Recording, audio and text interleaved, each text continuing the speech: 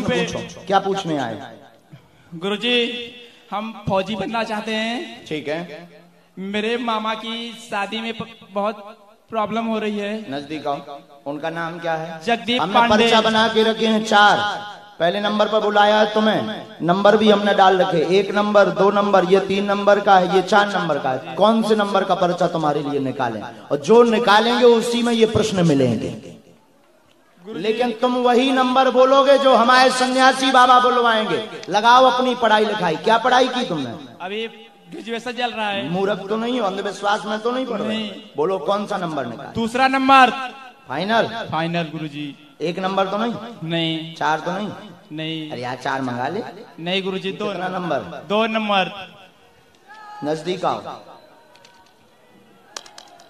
घर का स्वास्थ्य ठीक रहेगा, आर्मी बनेंगे, कृपा होगी, मामा को भी आशीर्वाद है विवाह का आशीर्वाद।